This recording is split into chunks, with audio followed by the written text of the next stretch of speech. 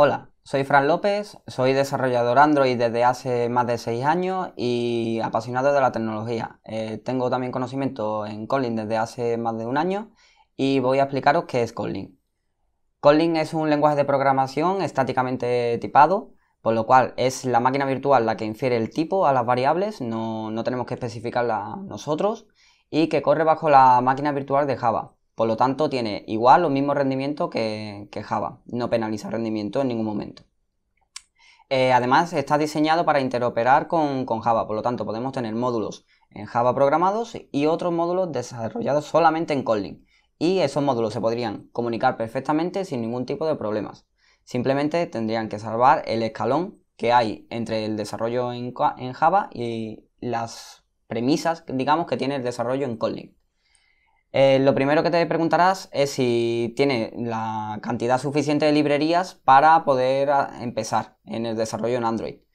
Sí, eh, la respuesta básicamente sí. Todas las librerías que existen actualmente para Java están ya migradas a Kotlin o si las que no estén migradas se pueden usar desde Kotlin. Por lo tanto, no vas a tener ningún tipo de problema con, librerías ya existentes como Retrofit, Dagger 2, RealM, eh, etc. Por lo tanto, no es un inconveniente el pasarse a Kotlin, al desarrollo en Kotlin, porque no tenga librerías o no tenga documentación. Además, tiene una comunidad muy grande de desarrolladores, por lo que y cada día va creciendo. Por lo tanto, mm, se pueden hacer preguntas, las respuestas son casi inmediatas, ya tener también un hilo de discusión solamente en esta Overflow. Por lo tanto, todo tiene un ecosistema montado para eh, que se encaminéis en el desarrollo en Kotlin.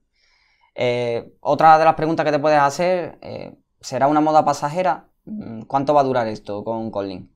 En este caso no va a ser una moda pasajera. Eh, ya tenemos dos avales muy grandes que son Google. en el caso de, Google, ya en la Google I.O.S. 2017 dio soporte a partir de Android 3.0 al desarrollo en Kotlin. Por lo tanto, ya no es necesario instalar un plugin para desarrollar en él, y además, eh, bajo Kotlin está una empresa. La empresa es JetBrains. Es la encargada de desarrollo de IntelliJ, por lo tanto, eh, si Android Studio se basa en IntelliJ, estamos ahí casi calzando ya que el ecosistema se sigue manteniendo bastante bien. Comunidad muy, muy amplia, entorno de desarrollo eh, desarrollado por los creadores de Kotlin, etc tiene pinta de que esto no va a ser una moda pasajera y que el desarrollo va a ser bastante, o la, carrera que pueda hacer con Kotlin va a ser bastante, bastante grande y, bien.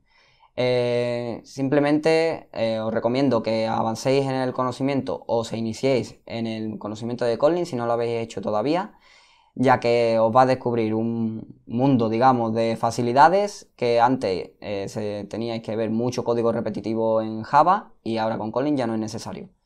Espero que, que os guste.